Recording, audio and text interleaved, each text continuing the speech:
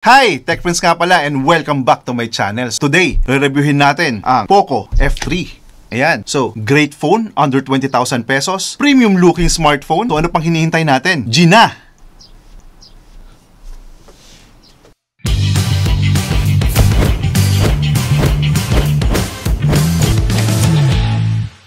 So, i-unbox na natin siya. Ito yung box. Okay, so black yung uh, top niya and then yung box niya mismo ay color yellow. So, tingnan muna natin itong mga nakalagay dito. Nakalagay with easy access to the Google apps you use the most. The color actually reminds me of UST Growling Tigers yellow and black. And ang idol ko dyan dati, si Cyrus Baguio. Let's see, oh, nice. What do we have here?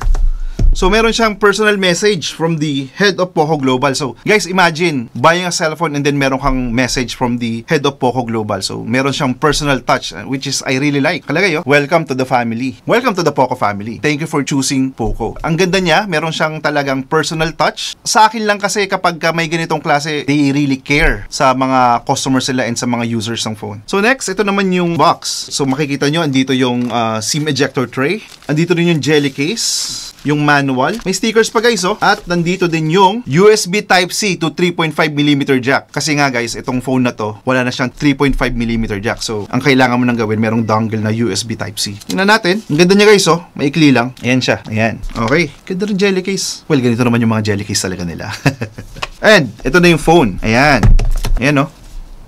Look at that guys. Very premium looking siya. Tingnan mo yung camera niya. Tapos mamaya i-review pa natin kung gaano siya kaganda at yung performance pa niya. Ano pa yung mga nandito? Hmm, yung makapal siya eh. Oh. Last but not the least, USB-C cable plus 33 watts, fast charging power brick. So, that's it. Yun lang yun naman ng phone. Wala na oh. So, everything is in here. Personal touch, yellow box insert, charger, USB-C cable, at yung exact phone. That's it. Thank you.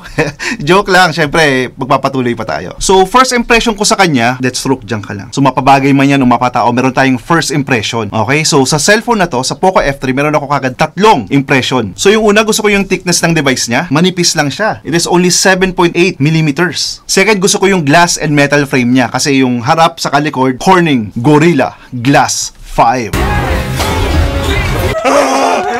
And third, gusto ko yung design and layout ng camera niya dito sa likod. Ayan. So, dito naman sa kanang bahagi, makikita mo yung volume rockers. Napaka-smooth niya lang hawakan. And then, yung pangalawa naman, yung fingerprint scanner at yun na rin yung power button. Dito naman sa ibabaw, makakakita ka ng two sets of three holes. So, yung right-hand side naman niya, yun yung IR blaster and microphone. At yung nasa left-hand side holes naman, yun naman yung para sa stereo speaker. Dito naman sa left-hand side rail niya, wala na. At dito naman sa ilalim, makikita mo, USB Type-C port. Andito din yung SIM card slot. At yung bottom speaker grill. So, it will give you a complete surround sound. Okay? And guys, naka Dolby Atmos pala to, but we will check it out later. So yung rear back naman ni Night Black colorway ay mirror polish glass. So madulas siya and gets smudgy fingerprints the moment you pick it up. So nandyan siya, di ba? Pick it up. Ayan, nagmamarka kagad yung mga fingerprints mo. Sa ano lang naman yan, nangyayari lang naman dito sa Night Black na colorway. Nagusto ko kasi itong Night Black kasi it really sounds like a superhero, di ba? Oh! Yung triple camera niya looks modish. So habang tinitingnan mo yung four circles, tandaan na tatlo lang yung camera niya sa likod. Yung lower right hand side version niya is just for design symmetry. Yung selfie camera niya ay very good despite the obligatory beauty filter. Yung front camera niya ay 20 megapixels and excellent for selfies talaga. Para pagka kumuha ka ng litrato mo at i-post sa Facebook, Instagram, or kung sa Twitter man yan, makikita nila yung tunay na itsura mo, di ba? Pero maganda rin naman yung ano, yung beauty filter niya. Kung meron kang uh, gusto tanggalin yan, tagyawat, or kung ano-ano man sa mukha mo na ayaw mong makita in public, well, you can use the beauty filter na meron si Poco F3. Enchandes. Okay. So yung AMOLED display niya is impressive and brilliant. Yung 6.67 inches display panel niya ay meron 1080 by 2400 pixel resolution. You get the large 120Hz refresh rate. So this is really great for gaming and overall smoother UI experience. With uniform top and bottom bezels with slightly thinner bezels on the side and 85.9 screen to body ratio. So yung battery life nito is uh, somehow average. Expect to get about 5 hours of screen on time, especially when you are out of Wi-Fi range and you are using 5G. In case you need to top up during the day naman, uh, you may use the 33 watts fast charging. So, in just 52 minutes or less than an hour, you will be back in action. Makakapaglaro ka na ulit or whatever you are doing with this phone. So, less than 1 hour, wala namang masama maghintay ng less than 1 hour, di ba? Mabilis na rin natin yon. Yung audio quality naman niya ay talaga namang maganda, pero yun nga lang, wala ng audio port. Nga, kung ayaw yung makinig ng using default speakers niya, you may use wireless or Bluetooth earphone. And with that, let me present to you because a great phone deserves a great partner. This is JBL Under Armour True Wireless Flash. Ayan siya. oh. Ayan. Ika nga ni Ninong Rai, JBL. Baka naman. Sana all! So ngayon, i-testing naman natin yung picture quality niya. Okay? So tinake ko tong picture na to bago magdilim. Ang tingnan nyo naman. Madilim ang kalangitan. Ang malinaw lang future natin. Hindi, wow. Ito pa, tingnan nyo pa yung sisig. Dahil nasa huli ang pagsisisig. Tingnan nyo, nilagyan ko ng maraming sili yan para yung kakain, lumiyab yung, yung puwet. Gusto mo bumaya ng 45? Tingnan naman natin itong mga action figures ko. Tingnan nyo yung resulta. Tingnan nyo, buong buo. Picturean natin tong si Deathstroke. Deathstroke, okay ka pa ba? Yan, picturean naman natin siya. Tingnan nyo guys. Sa malayo, ito ang itsura niya. Pag zoom natin, yan, tingnan nyo guys. Buong buo yung kulay. Kita mo yung mga lukot ng mga damit na suot niya. Yung espada niya, guys, sobrang ganda ng resolution. Buong buo. Yan o, naka super zoom na siya guys. Sobrang ganda, sobrang swabe. Ring yung pinicturean ko naman ng gabi at ng maliwanag dito sa phone na to, makikita mo yung difference pero maa-appreciate mo yung picture quality niya. Oh my God! Novaliches lang ang sakalam.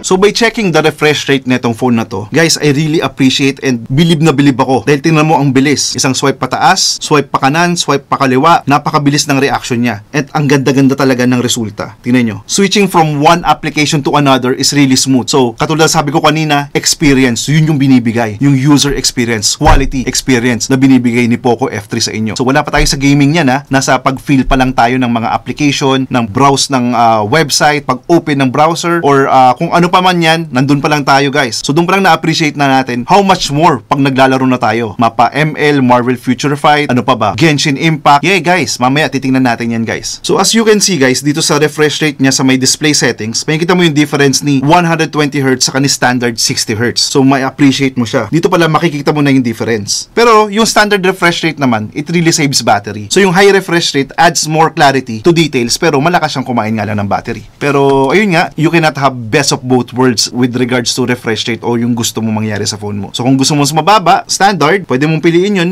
Masasave nga yung battery, pero kung gusto mo naman ultimate performance and user experience, doon ka na sa 120Hz. So, dito din, meron din siyang sunlight mode at meron din siyang night mode. So, kapag nasa labas ka, let's say, tirik na tirik yung araw, makikita mo pa rin yung mga, kailangan mong makita dito sa phone na to and makakapag-browse ka pa. Makakapag-Facebook, makakapag-Twitter, makakapag-Instagram kahit nasa tirik na tirik na araw. Yung pa isa sa mga nagustuhan ko dito sa phone na to. Ngayon guys, itry naman natin si Genshin Impact. So, tingnan mo yung character movement. Tingnan muna natin siya. Ayan, tingin ka sa akin, guy. Ayan, tingnan mo guys, oh. Attack, hack, and slash, cast, jump, and then dash. Buong buo yung kulay niya. At ma-appreciate mo talaga dito yung skill na nire-release na itong character na to. Ngayon, lumaban naman tayo. Tignan mo ha. Mm. Dash, attack, dash, attack. Guys, ang ganda niya talaga guys. Ma-appreciate mo yung laro even more using Poco F3. At sa Genshin Impact naman guys, kayang-kaya niya sa naka-max high graphic settings. At kung titingnan nyo, i-idle lang natin yung character. Ang ganda, ang ganda. This is on high setting guys ha. Well, we have to maximize naman talaga yung ah, kayang ibigay nito ni Poco F3. Kaya nga natin binili because we want to experience full kung ano yung nilalaro natin. So, one of the top mobile games here in the Philippines is Mobile Legends. So, itry natin ngayon. Kalaban natin si Hylos at ako si Cyclops. So, as you can see, masyadong detalyado or very detailed yung kanyang graphics. Bale, naka-maximum nga pala siya, no? Minaximize ko yung settings niya para mas ah, ramdam natin at ma-maximize natin yung, yung technology na meron si Poco F3. Ayan guys, kung titingnan nyo, lahat yan naka-max. And it's really enjoyable and fun. Just like what I've been saying earlier na hindi lang siya basta sa photography and while watching Netflix. Sa games, nako guys, sobrang recommended ko siya. It is highly recommended to buy this phone. Buy it while it's hot. So ngayon guys, nagtatanong kayo, magkano mo ba Prince nabili yung Poco F3? So meron kasi siyang dalawang variant. Yung isa, 17,990 pesos. That is for the Poco F 6GB RAM plus 128GB storage. Yung isa naman, 20,909. Yun naman yung 8GB RAM with 256GB of storage. Syempre guys, yung pinili ko yung latter kasi alam mo naman ngayon yung mga application, di ba? Pataas na ng pataas yung requirements ng storage space niya. So, uh, I don't want to settle sa mas mababang storage. Doon na ako sa mas malaki. Poco F3 can offer. That's 20,990. Pero you can really buy the 17,990 pesos. It will still give you the same best experience, pero yung ang difference lang naman nila, yung storage. So, dumako naman tayo sa pros and cons ng phone na to. Isa naman sa mga pros niya yung pleasing 6.67 inches AMOLED display. Then, Snapdragon 870 and 8 gig RAM na siya. So, up to 256 gig yung UFS. Slim body, tiny hole punch, and excellent weight distribution. Kung titingnan nyo guys, oh, walang mabigat. Hindi porket nandito yung ka, mabigat na hindi. Parang evenly ano siya, eh, distributed eh. So, magaan lang siya. So, dual speakers with high resolution and Dolby Atmos support. Yung main camera performance is excellent. Improved thermal management via liquid cool technology. So, hindi siya basta-basta iinit. Meron pa lang nagtanong sa previous video natin, ah, paano ba natin daw ipe-prevent yung pag-iinit ng phone? So, bibigyan ko yung tips guys ha. So, dapat guys, wag nyo gamitin yung cellphone nyo while charging. So, hayaan nyo muna siyang nag-charge at matapos. Hindi yung habang nakakabit, naglalaro ka. ba? Alagaan mo rin yung cellphone. Pangalawa naman, turn off mo yung mga apps na hindi mo ginagamit. So, ma- marami naman dyan mga ibang application or taga-check na if merong running, then patayin mo lang. So, isa yon. Pwede mo rin i-place yung phone mo on airplane mode kapag wala ka naman ibang ganong ginagawa. Avoid mo rin yung direct sunlight na tinatamaan siya. Yung brightness rin ng phone nyo, babaan nyo rin. And ensure na lahat ng application mo at yung OS niya is up to date. Price to performance ratio is really excellent. So, whether it's 17,990 or 20,990, you still get the best quality out of this phone. So, yung cons naman niya, yung glass back niya sa rear part is uh, fingerprint magnet. So, katulad sinabi ko kanina, tingnan mo, puro fingerprint na. Pwede nga lang pati puso mo eh, na nakamarka na rin, di ba? Yung battery life niya is average and then wala siyang headphone jack. And there you have it. That's Poco F3 and I would like to say thank you at tinapos nyo ang video na to. Wala kayong ibang gagawin kundi mag-relax, umupo sa sopa, i-click ang subscribe button at ang bell button para maging updated sa aking future videos. Ako nga pala ulit si Tech Prince and thank you for watching. See you next time. Bye!